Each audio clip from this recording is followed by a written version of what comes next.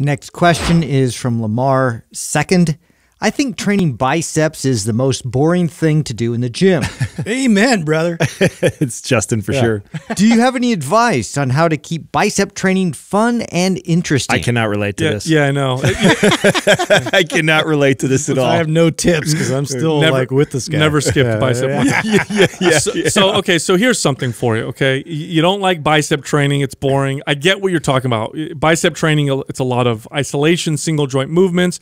You sound like somebody who enjoys doing the challenging functional movements or the big compound lifts. Mm-hmm. Here's the truth. Okay, if you're doing heavy pulls, heavy cleans, heavy rows, heavy You really, you pull-ups, really, you really don't need much of it. yeah, you don't need to do too much, you know, bicep work. You really don't. I mean, Just he- sprinkle it in there. yeah, heavy high pulls. Like, in, okay, in the program we have on sale this month is Maps Strong, right? It's half off. In that program, there's a snatch grip high pull. Uh, that'll hammer your biceps. That's going to give you great results for your bicep. In fact, as a kid, I noticed my biceps got better results from doing movements like that than from doing the uh, the you know curls and all the isolation exercises. So that's one thing you could do is, is you don't necessarily need to do specific bicep work. Just throw in more heavy pulling work. Here's the other thing you can do. Okay, have some fun uh, doing heavy strength training with biceps. Now, I don't recommend this to everybody, but you can do this if if you're bored.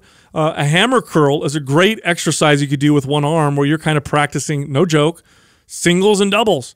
You know, arm wrestlers do this. This is a, a favorite exercise among arm wrestlers where they'll grab a heavy dumbbell and they'll do one heavy curl and let it go down real slow. And they'll practice doing singles like they're practicing a deadlift or a squat. That stuff is a lot of fun. You d- you do not uh, you know, and this, I was joking that I can't relate or answer for you, but you you do not need to do bicep curls. Uh, if you are somebody who if you are doing pull ups and you're deadlifting, you're doing snatch. I mean, if you are doing all those exercises, Supinated rows. them, all th- kinds of them biceps are getting worked. They are not getting neglected whatsoever. Now, if you said to me, Adam, I, I, I want better biceps, and you don't like your bicep development, and then you're also asking, I hate training them. Okay, well, that's a different conversation.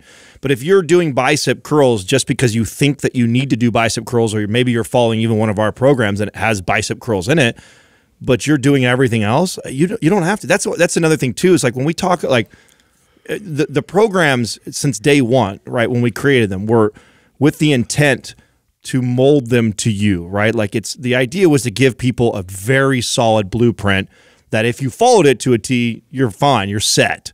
But if you have things that are that you care about or you don't care about, to customize. So, mm-hmm. you know, if you were following a program like Maps Aesthetic or Maps Anabolic and and where there's bicep curls in there and you're already doing a lot of pull-ups, deadlifting and you'd rather do maybe abs inserted in there instead or do another set of getting better at perfecting your squat or doing some more prime mobility work because you know you need that uh, you know or you know doing adding you know carries in there because that's not an anabolic.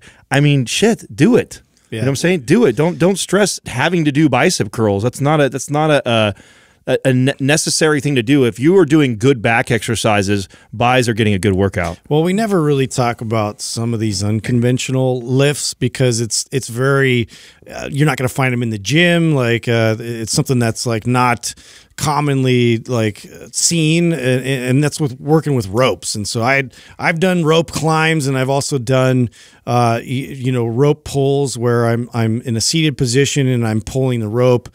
Uh, and I'm doing that over like you know a certain amount of time. And man, if you want to talk about like frying your arms and your biceps and, and and your grip and everything else, it's it's a really challenging exercise and a lot of fun too. So I mean, Yeah. there's there's ways you can get creative with this.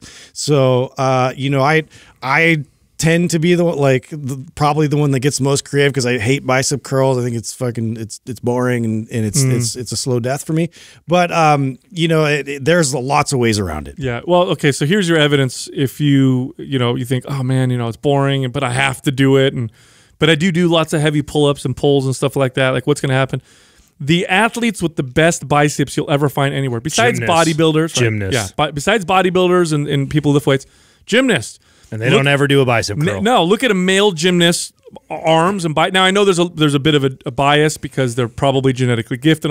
Doesn't matter though. You could tell their biceps are way more developed than uh, than any other athletes because of all the pull ups and ring work that they do. They don't do curls. I mean, I know gymnasts that some of them do some curls here and there, but that's not a staple. No, Their their staple. muscles are in such a state of tension, trying to keep stability that uh, the the contraction there in all those muscles that it requires is insane. most insane biceps I've ever seen in my life was a trainer that worked for me who had done year was a was a gymnast for years and years and years.